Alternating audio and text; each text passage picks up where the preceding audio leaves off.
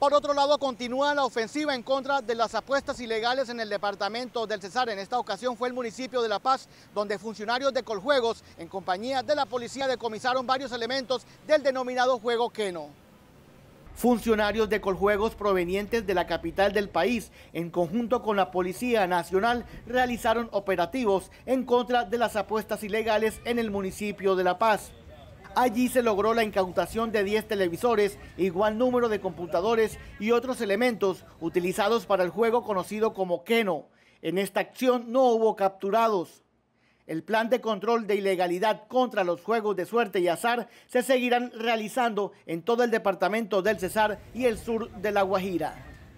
Para finalizar, Valledupar recibirá esta tarde la visita del presidente Iván Duque y de la directora de la UNESCO, donde se oficializará la designación de Valledupar como ciudad creativa por parte de esta organización. Oficialmente, Valledupar, ciudad creativa en el ámbito de la música, se van a socializar todos los criterios, todos los detalles y de verdad Valledupar sigue posicionándose en el orden nacional e internacional como un destino turístico cultural. Solo son 246 ciudades que tienen este reconocimiento por parte de la UNESCO. Además el intercambio de experiencias, vendrán muchos inversionistas de economía naranja, se mueve la agenda cultural, Valledupar queda con un sello de calidad